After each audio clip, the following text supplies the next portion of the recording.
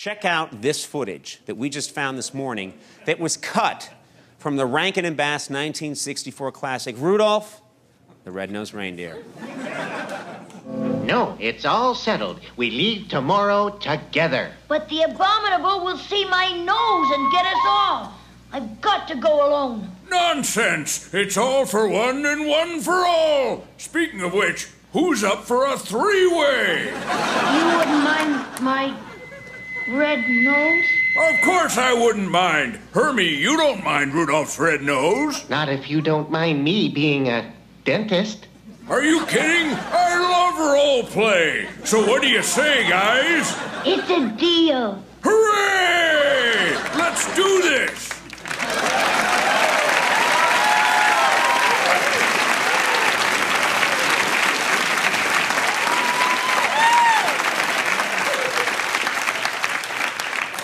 I think they did the right thing cutting that scene. Yeah, I think so. That house also seems small for that It does kind of seem thing. very small.